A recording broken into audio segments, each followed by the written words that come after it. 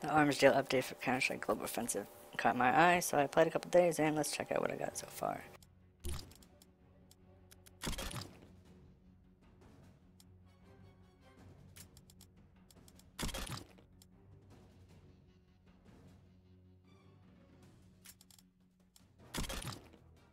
Purples have made their way into Counter-Strike.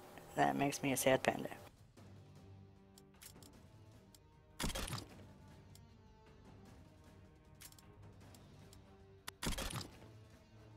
I actually picked up the Operation Payback Challenge map pack as well. They're pretty fun. And they brought back the M41 at silence. Smaller clip, but nice guy.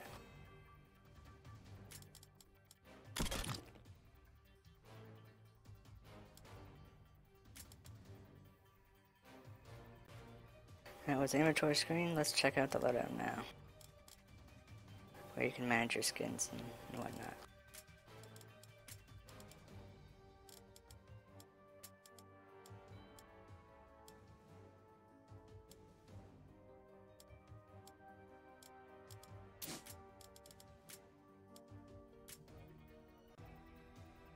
Alright, let's jump in the game and see if we can get a crate.